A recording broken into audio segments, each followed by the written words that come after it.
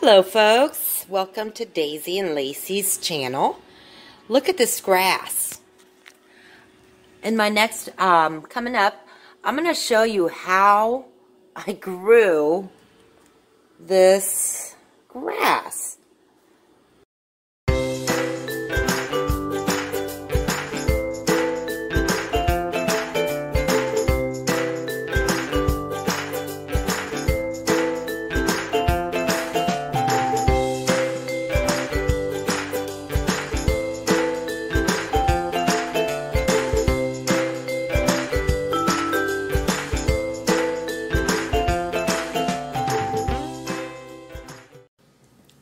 Happy Sunday, folks. So, you saw my previous video um, as to how I grew all of this grass, which my girls just adore. I, I've never seen grass grow that high. I use the organic Cat Ladies um, pet grass kit. And what I do is I, it comes with these little containers and you could use the tops for to catch the water. And what I really love are these little dirt, um, like hockey cup, uh, cup, well, like little, I don't know how they compress the dirt, but it's amazing. And I'm going to show you how that works. And then I have my seeds. So what I do is I use one of the empty containers. I pour in some warm water. And it starts to grow which look at that.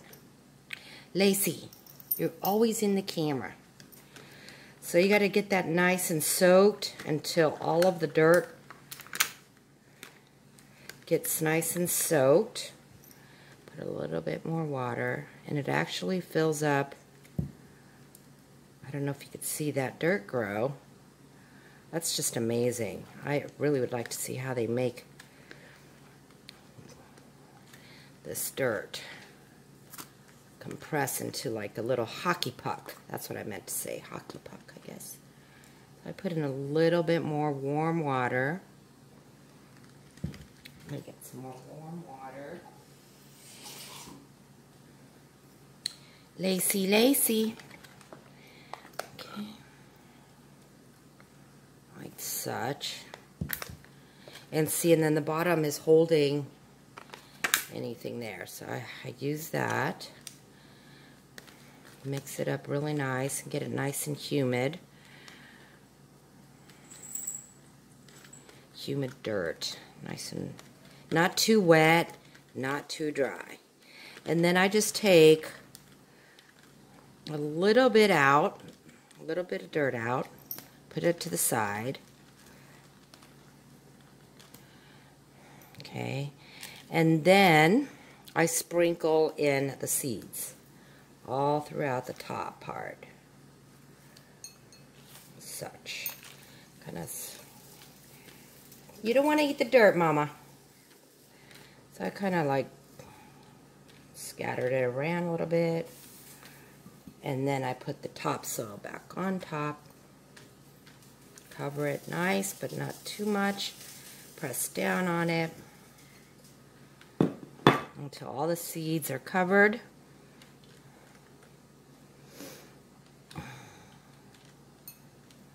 Like so. And then I put a little bit more water. Lacy really wants to know what's going on over there. I just sprinkle a little bit more water. And I'll use another one of the tops that comes in this kit. See, here are the little dirt pucks. I'm not even sure if that's the proper name for them. And then you cover it, and then you put it in a dark place for just a couple of days. And after you um, put it in uh, for a couple of days, maybe two days in a dark place or three until you start seeing little sprouts coming up. Then you take it out, you take the cover off, and I don't put it in direct sunlight, um, just light, but not direct sunlight. And I water it, I check the dirt, make sure it's nice and moist. And voila, I mean, we get forest of greens, which the cats really like. Now these, um, so these are our organic pre-measured solid soil discs, organic pet grass seed packs, and the BPA free planters. So, and I think that's it. And a cat grass, make sure the top tray is under the planter to catch the water. There you go. So I've done quite a few of these. And I think Lacy's carrying the top away. There she goes. there it goes. So I highly recommend this if you have a few minutes of your time throughout the day. Your cats will love you for it. And I just find it excellent. So the blend of the grass is wheat, oats, rye, barley, and flax. Okay. Well, thank you again, and I'm not sp sponsored by this company, the Cat Ladies. I just thought I would share how I grew that because I can. I don't. I do not have a green thumb.